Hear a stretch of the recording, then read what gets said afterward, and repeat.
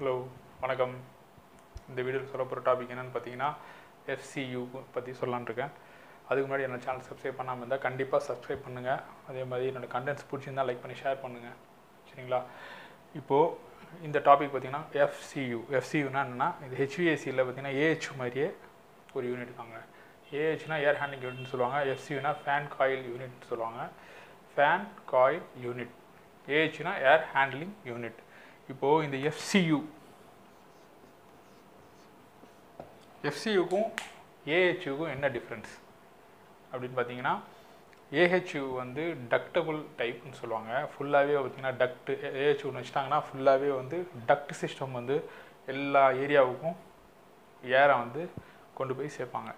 But in எஃப்சியூன்னு பார்த்தீங்கன்னா ஒரு ஒரு பட் சட் சர்டைன் ஏரியா ஒரு பர்டிகுலர் ஏரியாவுக்கு நம்ம நார்மலாக ஸ்ப்ளிட் ஏசியோட இண்டோர் யூனிட் எப்படி இருக்கும் அதே மாதிரி தான் ஒரு கிட்ட கிட்ட அந்த மாதிரி தான் இருக்கும். அதில் வந்து மினிமம் சைஸ் ஆஃப் டக்ட் ரொம்ப டக்ட்லாம் பெருசாக இல்லாமல் பேசிக்காக அந்த ரூம்லேயே பார்த்தீங்கன்னா அஞ்சு இடத்துலையும் உங்களுக்கு ஈக்குவலாக டிஸ்ட்ரிபியூட் ஆகிறதுக்காக டக்டிங் மட்டும் போட்டிருப்பாங்க.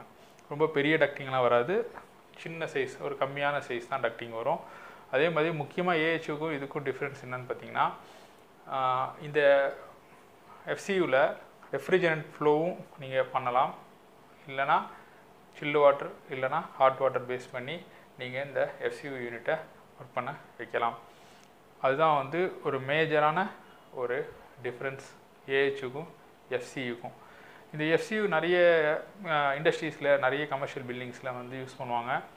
யூஸ் எதுக்காக யூஸ் பண்ணுறாங்க அப்படின்னு பார்த்தீங்கன்னா ஒரு ஏஹெச்யூ யூனிட் இருக்குது அந்த ஏஹெச் யூனிட் டிஸ்ட்ரிபியூஷன் டு எல்லா ஏரியாவுக்கும் அந்த ஏஹெச் யூனிட் டிஸ்ட்ரிபியூஷன் பண்ணிட்டு எல்லா ரூம்ஸுக்கும் பட் ஒரு ரூமில் மட்டும் எனக்கு சர்டைன் ரூமில் எனக்கு நார்மலாக அங்கே ஒரு டெம்பரேச்சர் தனியாக மெயின்டைன் பண்ணணும். அந்த இடத்துல வந்து ஒரு ஒரு ஹியூமிடிட்டி மெயின்டைன் பண்ணணும்.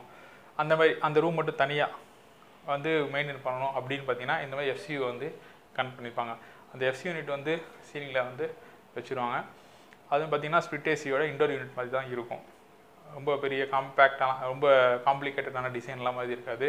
நார்மலாக பார்த்தீங்கன்னா ஏஹெச்யூ ஏஹெச்யூவில் பார்த்தீங்கன்னா ஃபில்டர் யூனிட் இருக்கும்.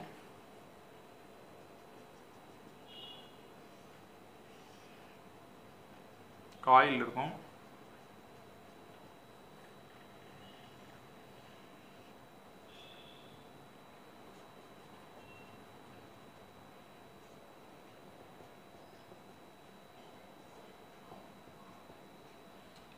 இதான் ஏஹெச்யூ இன்னு அவுட் நார்மலாக ஏஹெச்ஓட டிசைன் பார்த்தீங்கன்னா இப்படி தான் இருக்கும்.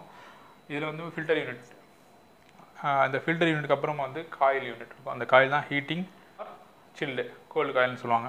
அதுக்கப்புறமா பார்த்தீங்கன்னா ப்ளோயர் இருக்கும். இந்த ப்ளோயர் ட்ரைவ் பண்ணுறது மோட்டர் நார்மலாக ஏஹெச்சோட கன்ஸ்ட்ரக்ஷன் வந்து இப்படி தான் இருக்கும். பட் ஆனால் இந்த எஃப்சியூ எஃப்சியூன்னு சொல்லும்போது சேம் டிட்டோ தாங்க. இதே மாதிரி தான் இருக்கும். பட் ஆனால் வந்து இது இங்கெல்லாம் டக்ட் கனெக்ட் பண்ணியிருப்பாங்க இதெல்லாம் டக்டிங் கொடுத்துருப்பாங்க. இதில் வந்து பார்த்திங்கன்னா சேம் கான்செப்ட் தான். ஒரு சின்ன சின்ன இதுவாக ஒரு ரூம் பாக்ஸ் மாதிரி இருக்கும். இந்த இடத்துல ப்ளோயரோட அவுட் அவுட் வந்துகிட்டே இருக்கும். சேம் இந்த ப்ளோயர் தான். நான் வந்து இந்த வியூவில் கட்டுறேன். இந்த ப்ளோயர் தான். இந்த ப்ளோயர் மா இந்த ப்ளோயருக்கு இருக்க மாதிரியே காயில் இருக்குது இந்த காயில் வந்து ரெண்டு இருக்கும். சில இதில் வந்து ரெண்டு காயில் இருக்கும்.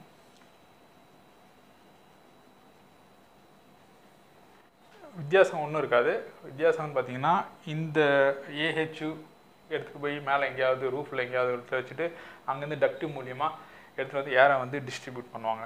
பட் எஃப்சியூவில் நீங்கள் அந்த எஃப்சி யூனிட் வந்து நீங்கள் உள்ளே ரூம்குள்ளேயே வந்து செட் பண்ணிடுவாங்க. அந்த ரூம்குள்ளேயே பார்த்தீங்கன்னா மினி டக்டிங் போடுவாங்க. சின்ன டக்டிங் இந்த ஏரியா ஏரியா வைஸ்க்காக வந்து ஒரு ஒரு மூணு நாலு டக்டிங் போட்டு உள்ளேயே வந்து டிஸ்ட்ரிபியூட் பண்ணுவாங்க. நம்ம டெம்பரேச்சர்ஸை மாற்றி கற்றுக்கலாம் அதே மாதிரி எஃப்சியூவில் பார்த்தீங்கன்னா ஒரு two pipe system four pipe system two pass four பாஸ்ன்னு சொல்லுவாங்க. அதான் ரெண்டு பைப்பு இல்லைன்னா நாலு பைப்னு சொல்லுவாங்க. அது ஒன்று ஒரு கா- ஒரு காயிலுக்கு ரெண்டு பைப்புன்னா சில்லு வாட்டர் இன் அவுட்டு அதே மாதிரி ஃபோர் பைப்னு சொன்னீங்கன்னா சில்லு வாட்டர் இன் அவுட்டு அப்படி இல்லைன்னா ஹாட் வாட்டர் இன் அவுட் ரெண்டுமே வந்து யூஸ் பண்ணிக்கலாம் எஃப்சியூவில் அதுக்கும் ஒரு சேம் ஃபில்டர் யூனிட் ஒன்று இருக்கும். ஒரு ப்ளோயர் இருக்கும். அதில் வந்து ரெண்டு டைப் எஃப்சியில் பார்த்தீங்கன்னா ஒரு ரெண்டு டைப்ஸ் இருக்குது ஒன்று வந்து டைரெக்டாக வந்து நீங்கள் ரெஃப்ரிஜரண்ட்டை ஃப்ளோ பண்ணி அதை வந்து யூஸ் பண்ணிக்கலாம். அந்த ரெஃப்ரிஜரேட்டர் ஃப்ளோ பண்ணி நீங்கள் யூஸ் பண்ணுற மாதிரி இருந்தால் வெளியே ஒரு அவுட்டோர் யூனிட் கண்டிப்பாக இருக்கும். அந்த அவுட்டோர் யூனிட்லாம் பார்த்தீங்கன்னா கம்ப்ரஸரு அதாவது சில் சில்லர் சர்க்கியூட்வாங்க கம்ப்ரஸர் இருக்கும் கண்டென்சர் இருக்கும். எக்ஸ்பேன்ஷன் இருக்கும். அங்கேருந்து தான் எடுத்துகிட்டு வந்து நமக்கு இந்த இண்டோர் யூனிட்டில் ரெஃப்ரிஜரண்ட்டை ஃப்ளோ பண்ணுவாங்க. அதே மாதிரி சப்போஸ் எனக்கு வந்து ரெஃப்ரிஜரண்ட் ஃப்ளோ இல்லை அந்த மாதிரி டிசைன் கிடையாது. இது வந்து டேரெக்டாக சில்டு வாட்டர் இல்லை ஹாட் வாட்டர் டிசைன் அப்படின்னு நினச்சிங்கன்னா வெளியில் ஒரு சில்லர் யூனிட் கண்டிப்பாக இருக்கும். இல்லைன்னா ஒரு பாய்லர் இருக்கும். அந்த பாய்லர்னால் ஹாட் வாட்டர் ஜென்ரேட்டர்னு சொல்லுவாங்க. அது மூலியமாக சில்டு வாட்டர் எடுத்துகிட்டு வந்து சர்க்குலேட் பண்ணி ரூமை கூல் பண்ணுறதோ இல்லைனா ஹாட் வாட்டர் எடுத்துகிட்டு வந்து உள்ளே சர்க்குலேட் பண்ணி நமக்கு ரூமை ஹீட்டிங் பண்ணுறதோ யூஸ் பண்ணுவாங்க. அதுக்கு தான் வந்து இந்த எஃப்சியோட கான்செப்ட் உங்களுக்கு நார்மலாக டிஸ்பிளே ஆகிட்டு இருக்கும். ஃபோட்டோஸ் டிஸ்பிளே ஆகிட்டு இருக்கும். பாருங்கள் எஃப்சியோட கான்செப்ட் இதுதான்.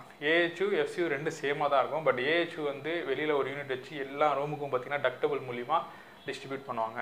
பட் எஃப்சியூ ஃபேன் காயில் யூனிட்ன்றது வந்து டைரக்ட் காயில் ஃபேனு இதெல்லாம் பக்கத்து பக்கத்துலேயே ரொம்ப க்ளோஸ்டாக சின்னதாக இருக்கும். இது வந்து ஒரு ரூம்குள்ளே மினி ஏதாவது ஒரு ரூம்குள்ளே வச்சு அதே ரூம்குள்ளேயே ஒரு நாலு இடத்துக்கு டிஸ்ட்ரிபியூட் பண்ணுறதுக்கு யூஸ் பண்ணுறது தான் வந்து எஃப்சியூ சரிங்களா?